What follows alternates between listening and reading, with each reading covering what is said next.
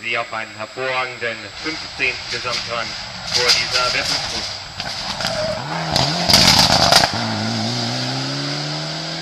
Zweite Runde für den 12. platzierten Thomas Kurka und Dietrich Müller. Die mussten bei der AVD Sachsen